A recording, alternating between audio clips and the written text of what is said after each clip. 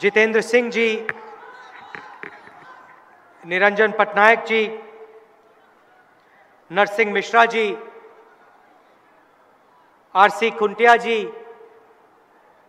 भक्तचरण दास जी जगन्नाथ पटनायक जी जयदेव जैना जी प्रसाद हरिचंद्रन जी तारा प्रसाद बहनुपति जी Sushmita Dev ji party के हमारे सब नेता, कार्यकर्ता प्रदीप माझी जी, धन्यवाद। एनएसयूआई, यूथ कांग्रेस, सेवा दल, महिला कांग्रेस के हमारे सब लोग, प्रेस के हमारे मित्रों, भाइयों और बहनों, आप सबका यहाँ बहुत बहुत स्वागत। दूर दूर से आप आए हैं, इसके लिए आप सबको बहुत बहुत धन्यवाद।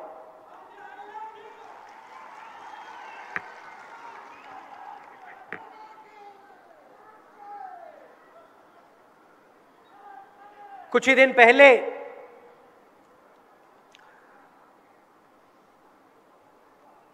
पाकिस्तान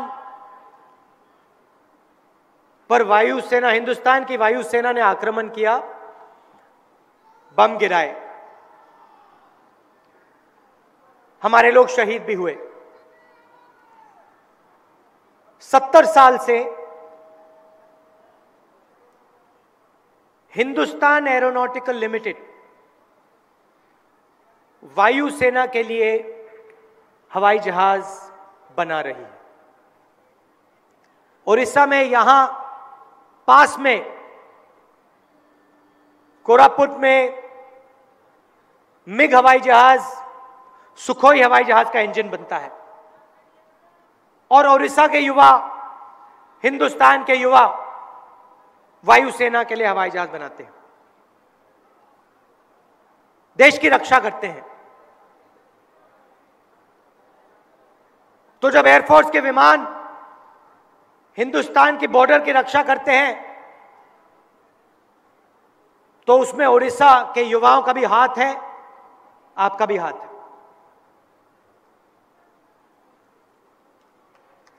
प्रधानमंत्री, देशभक्ति बात करते हैं।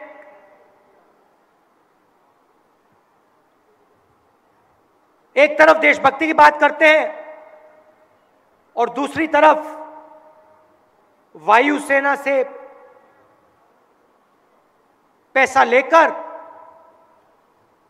अपने मित्र अनिल अंबानी को देते हैं। अब देखिए, एचएल सत्तर साल से हवाई जहाज़ बना रही है। अनिल अंबानी ने हवाई जहाज़ कभी बनाया नहीं। एचएल पर कोई कर्जा नहीं।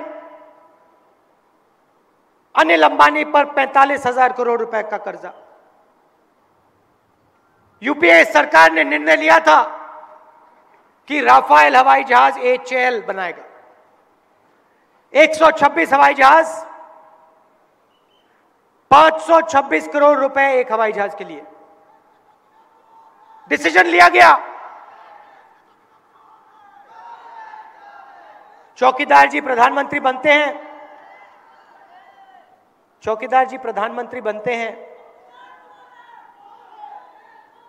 और वही हवाई जहाज़ जो 526 करोड़ का है, उसे नरेंद्र मोदी 1600 करोड़ रुपए के लिए खरीदता है। क्यों खरीदता है? क्योंकि वो अनिल अंबानी को तीस हज़ार करोड़ रुपए देना चाहता है। फ्रांस का राष्ट्रपति कहता है हमें तो नरेंद्र मोदी ने साफ़ कह दिया था, अगर फ्रांस का हवाई जहाज़ खरीदना है तो एचएल हवाई जहाज़ नहीं बनाएगी। अनिल अंबानी को कॉन्ट्रैक्ट देना है, हवाई जहाज़ फ्रांस में बनेगा। फ्रांस की सरकार को, कंपनी को ज़रूर ज़्यादा पैसा मिलेगा, मगर ओडिशा के युवाओं को रोज़गार नहीं मिलेगा। डिफेंस मिनिस्ट्री के कागज़ हिंदू अखबार में छपते हैं। डिफेंस मिनिस्ट्री के अफसरों ने एयरफोर्स के अफसरों ने उन कागजों में साफ़ लिखा है कि नरेंद्र मोदी ने स्वयं नया कॉन्ट्रैक्ट तैयार किया। नरेंद्र मोदी ने स्वयं हिंदुस्तान की नेगोशिएटिंग टीम को परे किया। नरेंद्र मोदी ने स्वयं अनिल अंबानी को तीस हज़ार करोड़ रुपए दिया। चौकीदार। ये सच्चाई है भाइयों और बहनों। आपकी ज़मीन की लड़ाई हम लड़े। ज़मीन अधिकरण बिल लाए। आदिवासी बिल लाए। पैसा कानून लाए। हमने हक आपको दिया। कानून में साफ़ लिखा था, बिना पंचायत से पूछे, बिना किसान से पूछे, बिना आदिवासी से पूछे, सरकार उसकी ज़मीन नहीं ले सकती। साफ़ लिखा था कि अगर आदिवासियों ने, किसानों ने अपनी ज़मीन देने देनी चाहिए। तो मार्केट रेट से चार गुना ज़्यादा पैसा आदिवासी और किसान के बैंक अकाउंट में जाएगा। आपकी ज़मीन की रक्षा की, आपके भविष्य की रक्षा की और पार्लियामेंट हाउस में उसी चौकीदार ने ज़मीन अधिकरण बिल को रद्द करने की कोशिश की। तीन बार आए। तीन बार कांग्रेस पार्टी के लोगों ने आपकी रक्षा की। मैं भी खड़ा था लोकसभा में। हमने साफ़ कह दिया कि आदिवासियों की, किसानों की ज़मीन आप हिंदुस्तान के 15-20 उद्योगपतियों को नहीं दे सकते हो। और अगर देनी है तो किसान के पूछकर, किसान से पूछकर, आदिवासी से पूछकर और उसे सही रेट और कॉम्पेंसेशन देकर। लोकसभा में हमने रोका। राज्यसभा में हमने रोका। मगर यहाँ आपके चीफ मिनिस्टर और नरेंद्र मोदी बीजेपी के सब प्रदेशों में इस बिल को खत्म करने का काम करते हैं। आज ओडिशा में बिना आपसे पूछे, बिना आपको सही रेट दिए, नवीन पटनायक जी आपकी ज़मीन ले लेते हैं और उनके मित्रों को दे देते हैं। मैं आपको छोटा सा उदाहरण देना चाहता हूँ। यहाँ स्टेज पे आज सिंहदेव जी बैठे हैं। बस्तर में टाटा की फैक्ट्री थी। टाटा ने ज़मीन ली थी। फैक्ट्री लगानी थी। फैक्ट्री नहीं लगी। ज़मीन अधिकरण कानून में लिखा है, अगर किसान की आदिवासी की ज़मीन ली गई और पाँच साल के अंदर उस पर कारखाना या फैक्ट्री नहीं लगी तो ज़मीन वापस किसान को, आदिवासी को दी जाएगी। बस्तर में कांग्रेस पार्टी की सरकार ने टाटा कंपनी से ज़मीन वापस ली और आदिवासी भाइयों को वापस कर दी। छोटा काम नहीं है भाइयों और बहनों, ऐतिहासिक काम है। यह आपकी ज़मीन है यह आपका हक है। और सिर्फ़ ज़मीन का काम नहीं किया हमने छत्तीसगढ़ में। राजस्थान, मध्य प्रदेश, पंजाब, हरियाणा में। आप जाइए, छत्तीसगढ़ जाइए। छत्तीसगढ़ जाइए और उनसे पूछिए,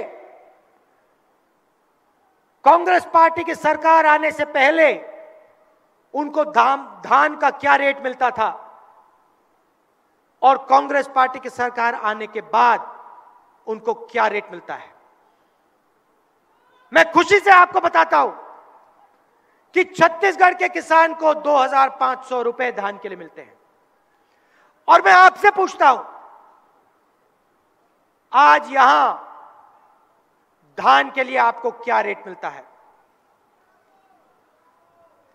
1600 कांग्रेस पार्टी की सरकार आएगी तो यहाँ भी आपको 2500 रुपए से कम रेट नहीं मिलेगा।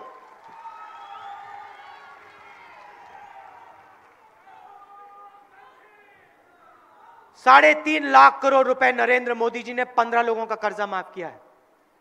हिंदुस्तान के सबसे अमीर उद्योगपति अनिल अंबानी पर पैंतालीस हज़ार करोड़ रुपए का कर्जा है। नीरव मोदी पैंतीस हज़ार करोड़ रुपए लेके भाग गया। मेहुल चौकसी चोरी करके भाग गया। विजय मालिया दस हज़ार करोड़ रुपए लेके भाग गया। मगर जब हिंदुस्तान और उड़ीसा का किसान कर्जा माफ़ करने की बात करता है। तो नवीन पटनायक जी और नरेंद्र मोदी जी कहते हैं, हम नहीं करने वाले। छत्तीसगढ़, राजस्थान, मध्य प्रदेश के चुनाव से पहले मैंने साफ़ कह दिया था। चाहे कुछ भी हो जाए, कांग्रेस पार्टी की जैसे ही सरकार बनेगी, दस दिन के अंदर, ग्यारह दिन में नहीं, दस दिन के अंदर इन प्रदेशों में हर किसान का कर्जा माफ़ हो जाएगा। और भाइयों और बहनों, खुशी से मैं कहता हूँ, खुशी से कहता हूँ कि तीनों प्रदेश में दो दिन के अंदर हर एक किसान का कर्जा माफ़ हो गया। ये काम किए जा सकते हैं उड़ीसा में पैसे की कोई कमी नहीं। आपके पास सब कुछ है। जंग जल, ज़मीन, जंगल माइंस सब कुछ नेचुरल रिसोर्सेस मगर आपसे छीना जाता है। और जो आश्वासन हमने मध्य प्रदेश, राजस्थान, छत्तीसगढ़ में दिया, वो ही हम यहाँ पे करने जा रहे हैं। कांग्रेस पार्टी की सरकार लाइए और उड़ीसा में हम किसान का कर्जा माफ़ करके दिखा देंगे। समय नहीं लगेगा, भाइयों और बहनों। और उड़ीसा में गरीब जनता है। गरीबी की कोई कमी नहीं उड़ीसा में। नवीन जी आपके चीफ मिनिस्टर हैं। सबसे गरीब प्रदेश है ये।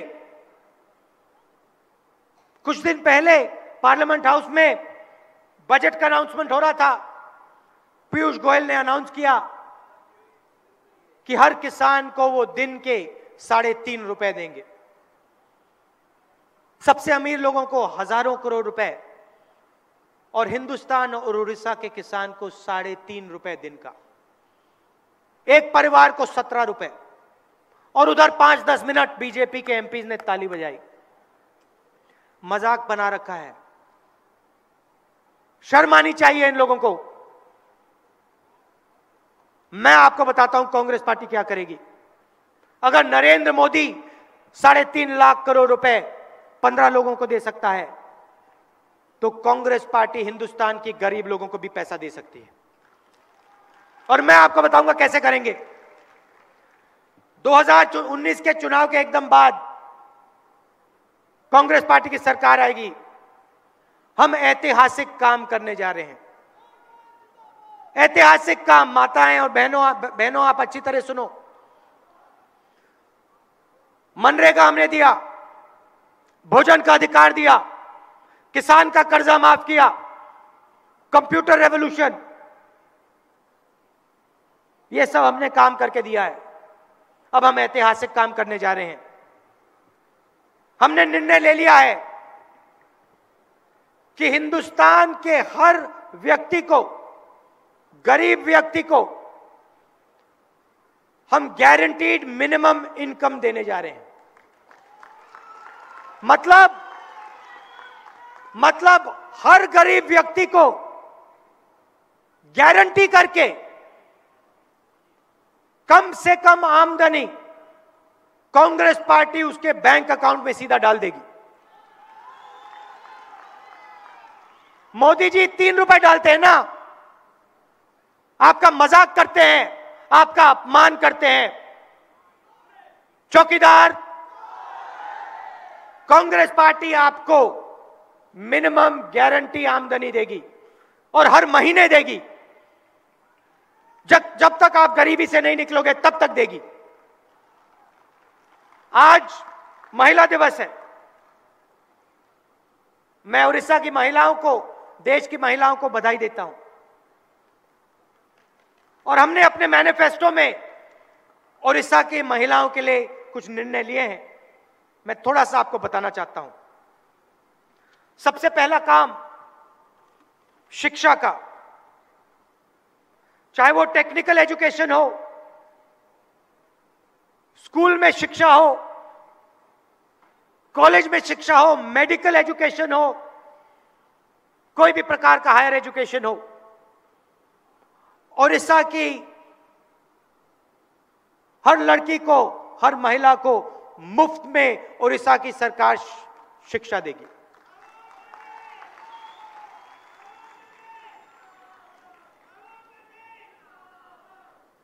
हर गरीब लड़की को शादी के लिए फाइनेंशियल असिस्टेंट दिया जाएगा, असिस्टेंस दिया जाएगा। जो विधवा पेंशन है दो हज़ार रुपए का विधवा पेंशन आपको दिया जाएगा। हर पंचायत में एक स्पेशल ऑफिसर जो महिलाओं के लिए वहाँ पोस्ट किया जाएगा। महिलाओं पे अत्याचार होता है, यहाँ पे पास में दलित महिला का बलात्कार हुआ। सरकार ने कोई एक्शन नहीं लिया। हम हर पंचायत में महिलाओं के लिए एक स्पेशल ऑफिसर पोस्ट करेंगे। और जो हमारी महिलाएँ एंटरप्रेनर्स हैं,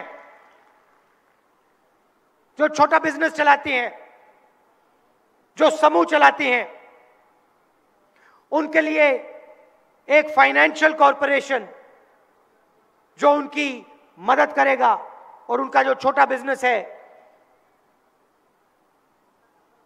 मिडिल साइज़ बिज़नेस है, उसके लिए पूरी की पूरी मदद उड़ीसा की महिलाओं को मिलेगी। अंत में मैं आपसे कहना चाहता हूँ, बहुत साल हो गए। नवीन पटनायक जी यहाँ पे चीफ मिनिस्टर हैं। सबसे गरीब प्रदेश है। चार पाँच अफसर आपके प्रदेश को चलाते हैं। आदिवासियों की आवाज़, दलितों की आवाज़, मजदूरों, किसानों, गरीबों की आवाज़ से सरकार नहीं चलती। सरकार चार पाँच अफसर चलाते हैं। पूरा का पूरा फ़ायदा नवीन पटनायक जी के मित्रों का होता है। बड़े बड़े बिज़नेस चलाते हैं, प्राइवेट हवाई जहाज़ में उड़ते हैं। हम ओडिशा की जनता की सरकार बनाना चाहते हैं।